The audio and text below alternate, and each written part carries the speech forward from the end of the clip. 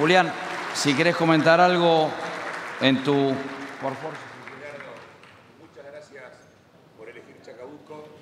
Gracias por hacer este evento en nuestra ciudad. A todos quienes hoy nos visitan, queremos que se lleven de nuestra ciudad el mejor de los recuerdos. Este evento nos jerarquiza como ciudad. Gracias a don Mario tenemos la posibilidad de mostrar nuestra pequeña ciudad y al embajador gracias por distinguirnos con su presencia. Muchas gracias. Muchas gracias.